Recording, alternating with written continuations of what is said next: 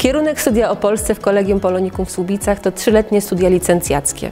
Naszym studentom oferujemy interdyscyplinarny program studiów obejmujący kursy językowe, zajęcia z historii, z literatury, z kultury polskiej, ale też szeroki wybór zajęć fakultatywnych, które odpowiadają ich zainteresowaniom.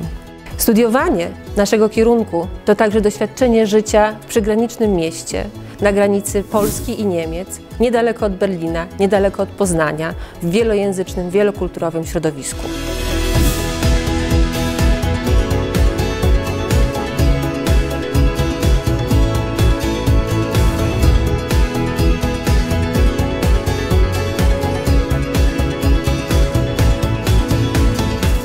Studia Polsce to dla mnie taki kierunek, w którym istnieje możliwość komunikacji w różnych językach, stworzenia międzynarodowej relacji oraz możliwość poznania kultury i obyczajów dwóch państw Polski i Niemców.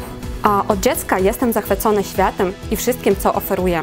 Te studia dali mi możliwość mieszkać na granicy dwóch krajów Polski i Niemiec, dwóch różnych kultur.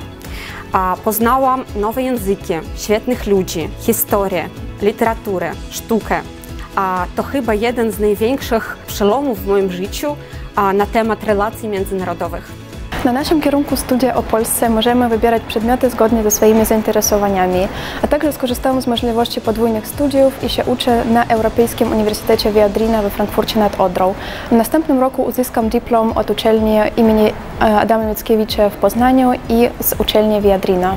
Studia o Polsce to dla mnie nie tylko możliwość poznania języka i kultury, ale także możliwość realizacji swoich marzeń. Jako studenci Kolegium Polonikum możemy mieć realny wpływ na organizację studiów. Na przykład można zostać członkiem Rady Kierunku, ale, albo także założyć e, koło studenckie i nawet zostać jego prezesem.